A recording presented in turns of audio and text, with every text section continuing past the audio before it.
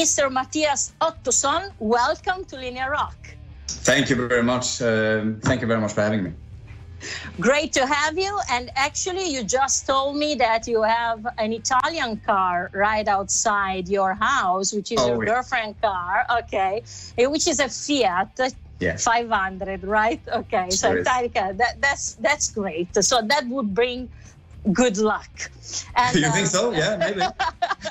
let's hope so. So, new Nekromant album, Temple of Haal, is finally out, and. Um, you know, the epic light and dark single behind the veil of eyes, which is clear in its intention but dark in the mood, uh, is like the perfect song to present the album.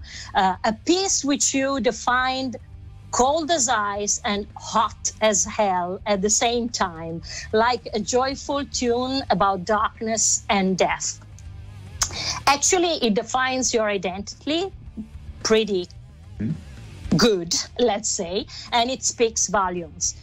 What's behind the veil of Nekromant's eyes and basically guides your inspiration? Well, uh, that was very eloquently put. I appreciate it. Uh, I uh, I think our inspirations has always been the same, pretty much. We we do have a strong foundation, all three of us, in classic heavy metal, such as uh, Judas Priest, Manowar, Rainbow, uh, Black Sabbath as well. Uh, our main foundations as a band has always been, I would say, Black Sabbath. Uh, which, I mean, it, it, it's very easy to be inspired by what they did in the early 70s, of course. Uh, but you don't have to sound like Black Sabbath to be inspired by Black Sabbath, I think. Uh, there are a lot, and I mean a lot of bands in Sweden and uh, Western Europe that are kind of like these, you know, Black Sabbath bands. Yeah. Uh, and I, I like pretty much all of them that I've heard, but we're not one of those. We are a classic heavy metal band, and that's the way I've always seen it. So you, you feel like Black Sabbath children, but with a look to the future. That's what you mean? Sure. I mean, absolutely. Black Sabbath contributes mostly to my inspiration with their sense of uh, rhythm, I would say, like the sense of groove and the sense of swing, which you may not find as much in, say, Judas Priest. Mm. Uh, but uh, yeah, I mean, uh, it, it, it's like everybody says, you know, when, when you have your inspirations from when you were a child and when you were an adolescent, that kind of stays with you forever. Right, and uh, so you you are mentioning you know all classic bands, and you are also so very connected to your roots, also geographically. Let's hmm. say um, that this album is mainly dedicated to your hometown, Vargön, hope I pronounce it correctly, uh, which is located uh, between the twin mountains of Halleberg and Hunneberg, uh, two natural giants monuments of local myths and stories, which have now inspired you guys as well. Mm. Um, and then there's also the big lake, uh, Vänern. Okay. I but you know I imagine songs like The Woods uh, written in some special environment. I don't know why, but I don't face you guys, you know, composing certain songs just within the four walls of a studio. Am I correct? Mm, you're, you're absolutely correct. Uh, we don't write songs in the studio at all. Uh, we don't have time for that. Uh, ergo, we don't have enough money to write songs in the studio because being in a studio is expensive so uh, we we tend to write uh, everything. Everything is really absolutely done when we get to the studio.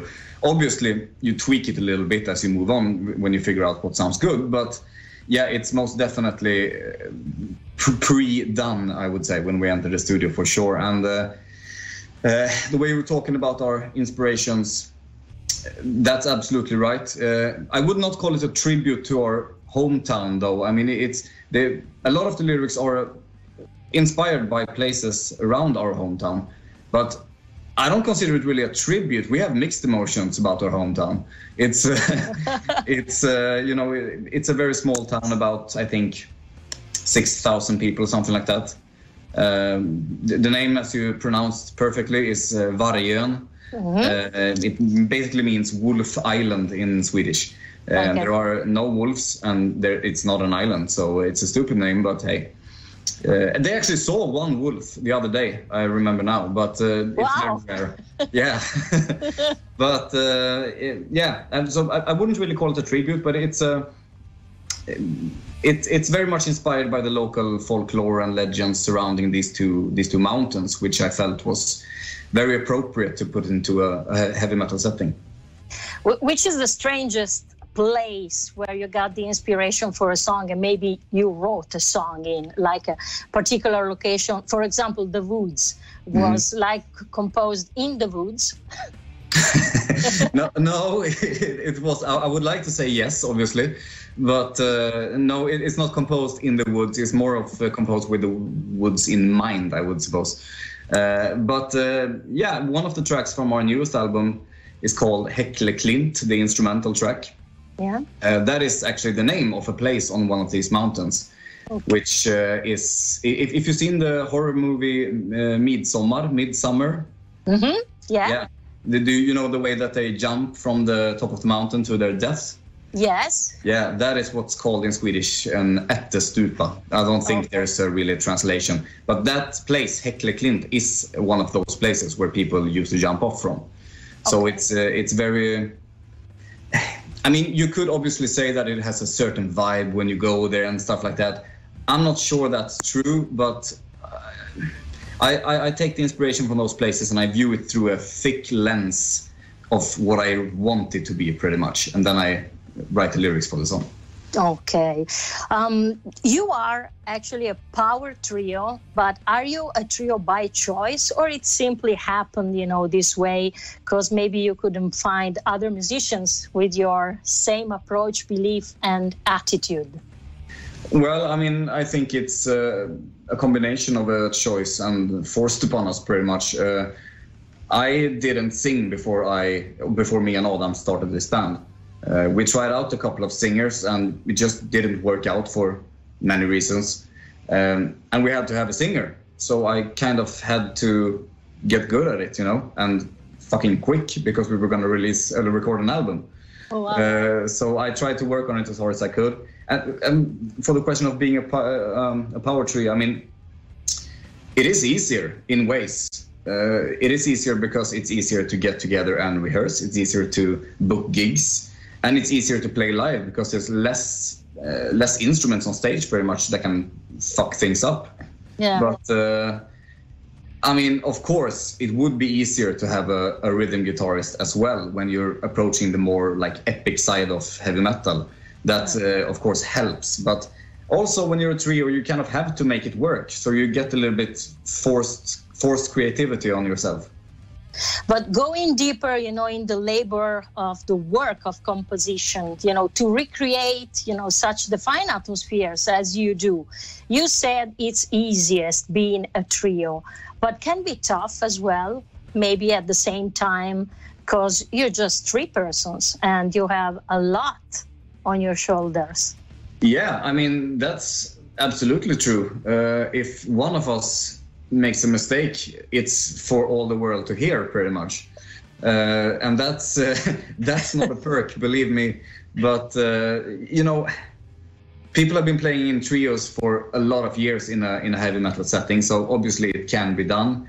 And I, I do think that it's it's kind of good to be uh, a little bit challenged creatively than that you just have three people. That you have to make it work and make it sound huge with only us three. And when we achieve that, it's a very it's a very nice feeling of um, success, I guess, to be able to to do it. and um, you say it's it's easiest and that you, you you always go in the studio with the work pretty much done but how long does it take for you to have an album ready for example is something that comes quick or because of the atmosphere and the long you know process maybe the labor of composition takes long No, I mean we are we are we are very quick. Uh, Quick. Yeah, yeah. We. Uh, I mean, it's my favorite time to be in a band when you have released an album and you're kind of allowed to go and work on new stuff. So for me, that happens rather fast. Uh, I tend to write the most of the songs. That's not a rule in in any way in the band, but I just seem to have the most time for it. Uh, so I, I, I, tend to write all the skeletons for the songs, and I mean right now I think I would say that 75% of the next album is pretty much done.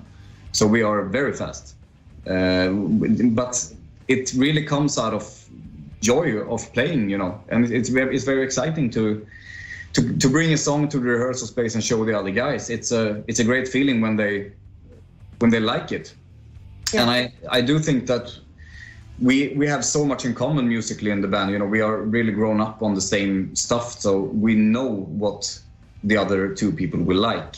So it, it's very easy to write for this band. It's uh, it's very rewarding, I would say. So you mean you write most of the stuff and then you arrange it as a trio, as a band? Yeah, yeah, pr- pretty much. I I, uh, I tend to make the the skeletons of the songs, and uh, then I bring it to the other guys, and we tweak and turn it a little bit until uh, until we feel somewhat satisfied with it. Um, you have been called a striking example of typically Swedish gloom. Oh yeah. Uh, what do you say in your defense, or are you very proud of it? I mean, it's it's kind of hard to be proud about being gloomy.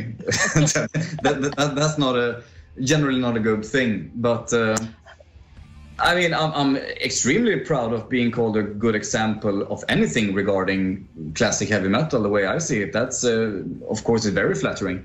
Um, however, the the Swedish gloom that is not just something that comes out in music in Sweden. The people here are very they're nice, but they're quite reserved. You know, if you stand like five people at a bus stop, if you talk to anyone there, they will consider you a maniac that is not normal in Sweden. Okay. You don't. No, no, no, no, no. You don't sit next to anyone in the bus if there's free seats. They they will think you're either drunk or insane. That is uh, so. The, the, I mean, the classic Swedish gloom is uh, it's forever prevalent in in everyday life in Sweden for sure. But I've been to Sweden quite a few times at Sweden Rock Festival, and after a few beers, believe me, a lot of people are happier even in Sweden. you you have never been to Sweden if you've just been to the Sweden Rock Festival. That okay. is Sweden. That is not how it looks 99% out of the year. okay, I trust you. Um, so this is the fourth album. What's the real evolution here in this album in Temple of Haal?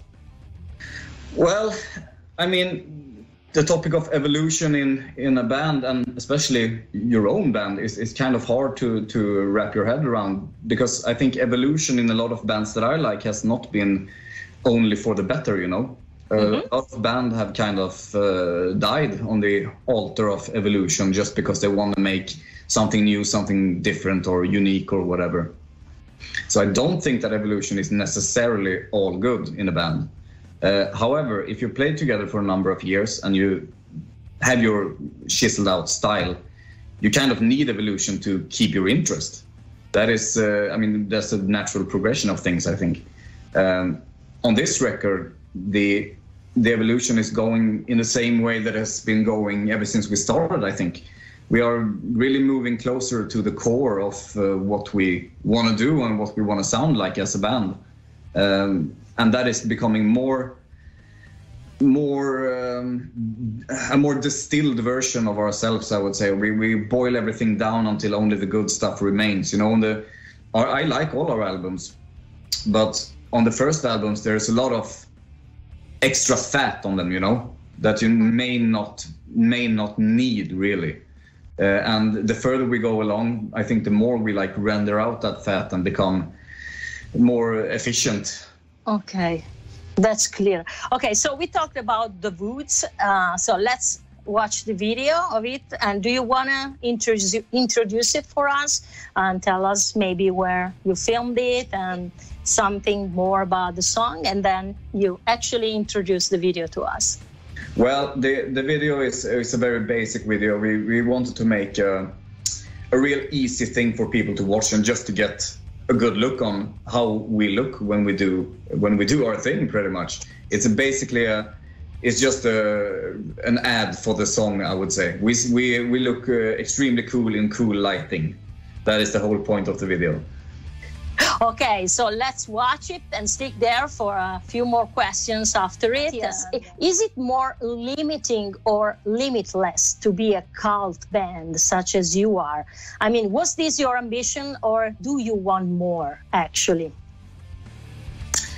Well, it, is, is your question do we want bigger gigs and more fame? And uh, right. I mean, of course. Uh, there's no. Uh, that's a that's a dumb question.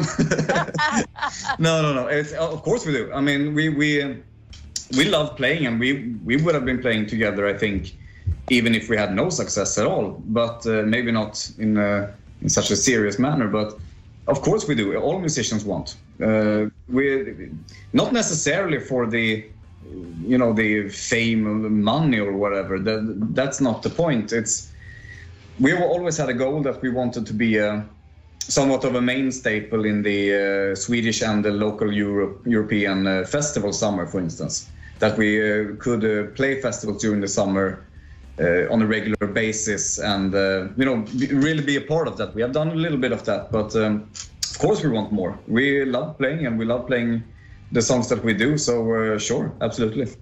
But I mean, would you ever compromise on your sound, you, you know, to have more? Or it's something that, yes, we want more, but, you know, still remaining ourselves? No, I mean, that is, for me, that's a, that's not an issue really for me because I, for one, I, I wouldn't know how to write anything that would go down better for people. I, I, I don't know what people like. I don't I don't have any social media. I don't uh, see a lot of people in my day-to-day life. I don't know what they like. I only know what I like and what the other two guys in the band like. And if that gets some traction and uh, makes us able to keep doing this, I'm extremely grateful. But as far as integrity goes, I, I wouldn't change anything for anyone. But I also wouldn't be able to. I think I can only write this stuff. This is really this stuff is really is really close. It's really near and dear to me. So uh, I can't just change around it, you know. But you changed your name from yeah. Serpent from Serpent to Nekromant. Uh. Do you do you think that this name represents you any better some way? Uh, what's the story behind this choice? Well, before we were called Nekromant, we were called Serpent, as you well know, as you saw us in the Sweden Rock Festival. Right. Um, yeah. Um, I mean, I'm not sure if it's uh, any if it's, if it's a better name, but the name Serpent was around in a couple of bands before we came along, and you know we kind of knew that to begin with as well. But when we started off, it was just me and Adam sitting in a studio with unlimited uh, studio time and unlimited amount of rum, I would suppose. Uh, but we always knew that we had to change it at some point.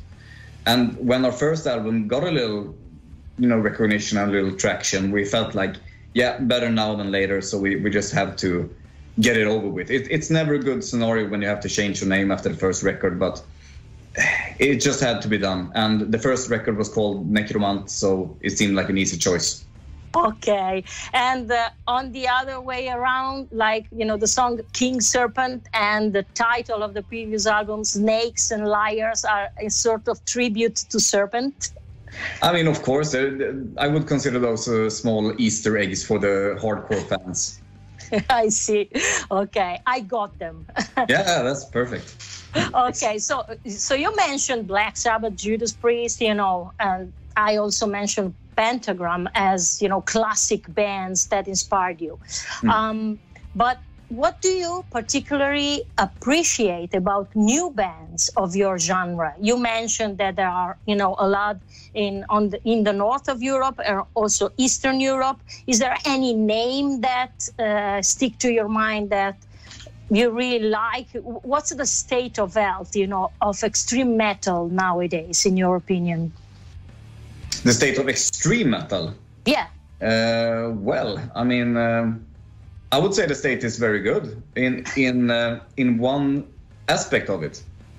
Uh, I like the the resurgence of the retro sounds, you know, of the doom stoner type of stuff, because that also carries with it uh, a lot of other resurgence of classic heavy metal and classic rock and so on. Man, I love that. However, the the state of metal as a whole, I'm not too sure about. I I recently listened to a, a playlist on Spotify called New Metal Tracks or something, and I was kind of horrified. Uh, it's, uh, I mean, obviously there are a lot of great bands, and most of them are great musicians, absolutely. But the the stuff that I heard on there was very different from the heavy metal that I grew up with. And I don't mean to sound like a grumpy old man, just oh everything was better when I was a kid because I was a kid, you know. That, Yeah. that is that is not the point. But I would say generally the state is very strong for, for metal music in Sweden. We have a lot of bands. We, we jokingly always say in Sweden, we have no metal fans in Sweden. We only have musicians.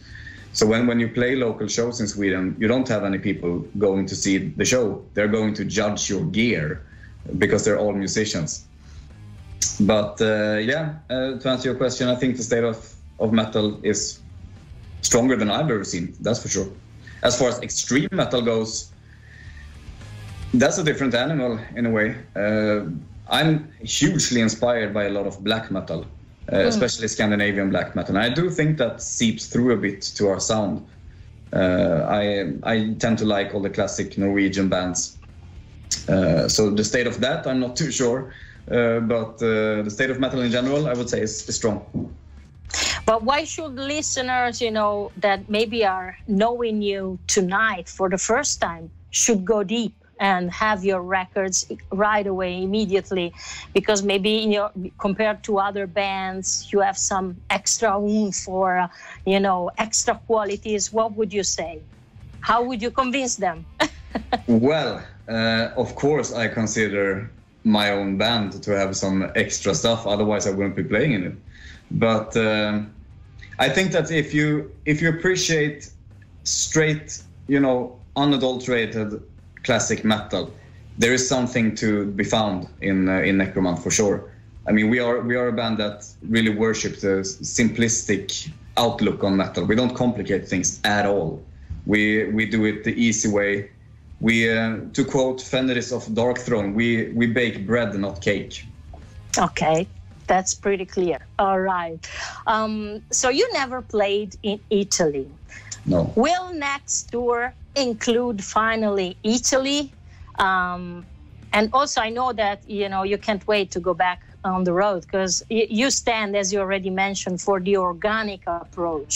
Um, you know, then no social media, but you like the stage, meeting people, uh, doing gigs, uh, traveling. Um, which are, you know, I mean, social media is actually u- useful, but um, it's an imme- immediate tool. Uh, but you prefer the good old way, right? So far, that so y- you can't wait to go back on the road.